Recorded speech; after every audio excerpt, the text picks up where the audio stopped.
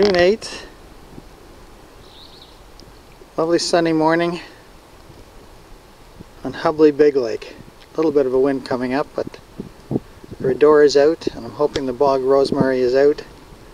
I heard the loons in the distance, and I'm looking forward to my first paddle of the season. So I put Old Faithful in the water here, 25 kilometers from my doorstep into a wilderness area.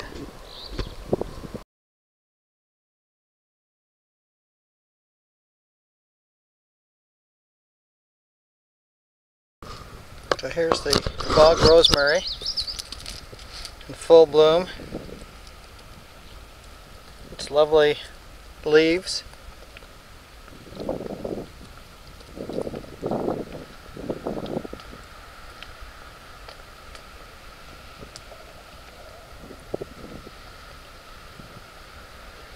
Behind it, bloom the Rhodora.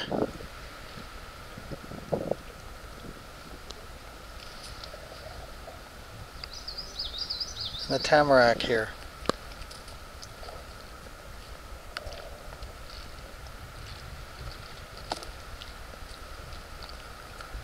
Everything I'd hoped for today is in bloom.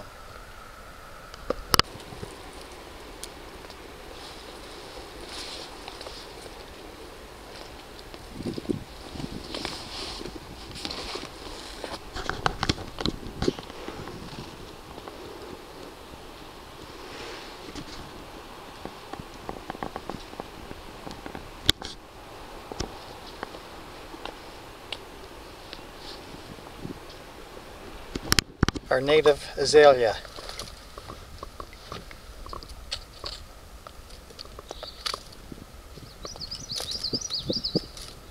There's about a dozen native azaleas in eastern North America. It's really the home of them. There's only a couple outside of there, I think. And uh, ours in Nova Scotia, I think, is the most beautiful of them all, uh, Rhodora. Course, it's the plant that Emerson eulogized. So it's just in, just in full bloom here today.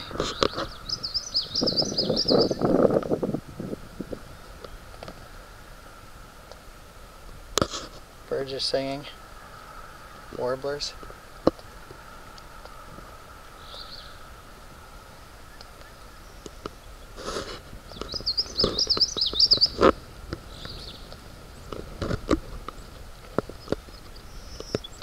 This time of year that uh, fill a lot of the landscape here, wettish land, are mountain holly.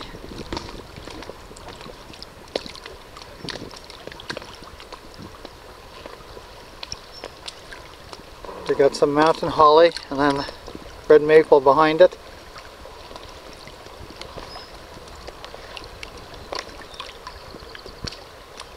And it's certainly one of the most abundant shrubs if not the most abundant shrub in the wetter areas of Nova Scotia. Needs a bit more soil than you have in fens and so on, but a little bit of drainage.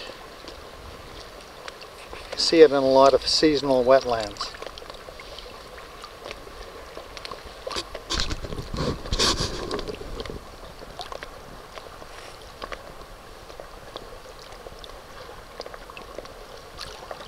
So here we're looking at bayberry, which hasn't leafed out yet. Another very characteristic species in this kind of wettish area by the lake.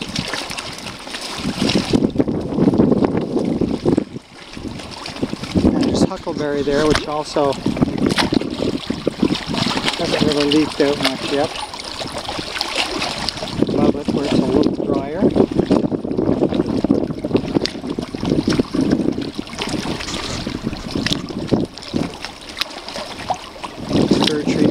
Here. Red maple.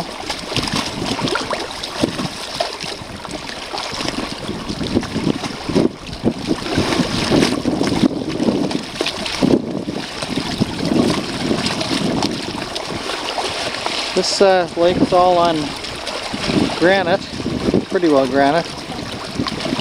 And it's a brown water lake. And the humic acid's coming in from the wetlands and the shallow, some of the spruce, wet spruce forests. Those humic acids actually protect the trout at low pH values. Trout are adapted and somewhere or another the humic acids complex the aluminum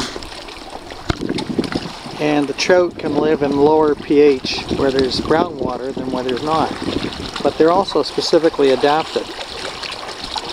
So the, the brook trout in this lake, and especially down below in the Woodens River, are a uh, heritage population of brook trout.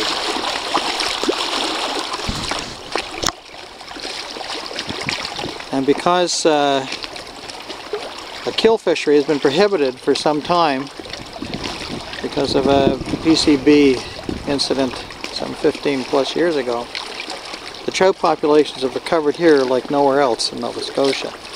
At least in uh, maybe from, I'm not sure how much there is in this lake, but there's the lower woods. There's a lot of trout. Lots of people like to fish them, but of course if we did they'd be gone pretty quickly. And we should really keep them for, I like to think, for future generations.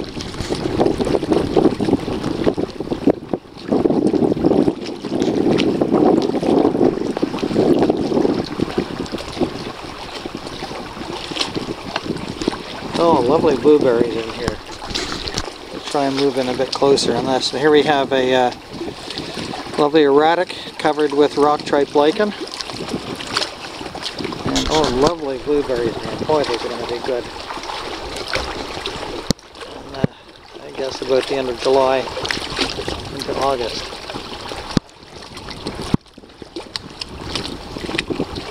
So there, the blueberries were growing out on the drier parts of the rock.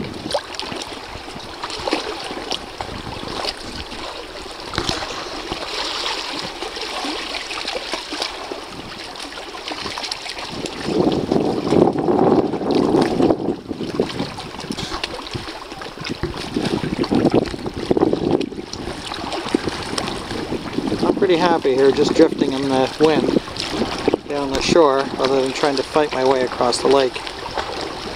Do it, but I just don't have that time to do it today. And really, everything I wanted to see is here. Part of the lake shore.